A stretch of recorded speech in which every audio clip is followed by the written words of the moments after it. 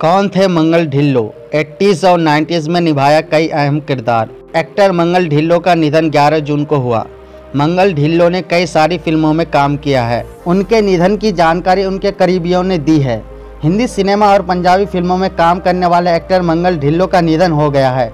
खबरों के मुताबिक पिछले कुछ सालों से एक्टर मंगल ढिल्लो कैंसर की बीमारी से जूझ रहे थे। उनका पंजाब के लुधियाना शहर से एक अस्पताल में इलाज चल रहा था। लेकिन 11 जून को उनके निधन की खबर सामने आई है। रविवार की सुबह एक्टर ने अंतिम सांस ली और उनके निधन की खबर एक्टर यशपाल शर्मा ने दी है।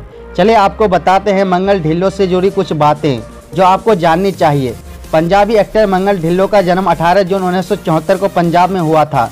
मंगल ढिल्लो एक पंजाबी परिवार से बिलोंग करते थे और उन्होंने अपने करियर की शुरुआत पंजाबी फ़िल्मों से किया था। उन्होंने पंजाब यूनिवर्सिटी से अपना ग्रेजुएशन किया था। और एक्टिंग में डिप्लोमा भी साल 1980 में लिया था। मंगल ढिल्लो एक एक्टर होने के साथ साथ लेखक और निर्देशक भी थे।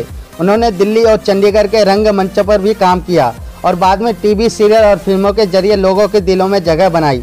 मंगल ढिल्लो ने अर्चना पूरन सिंह, रेखा अमिताभ बच्चन, सनी देवल जैसे बड़े सितारों के साथ काम किया है। आपकी जानकारी के लिए बता दें, मंगल ढिल्लो भले ही शुरुआत पंजाबी फ़िल्मों से की थी, लेकिन बॉलीवुड में उनकी खास पहचान बनी।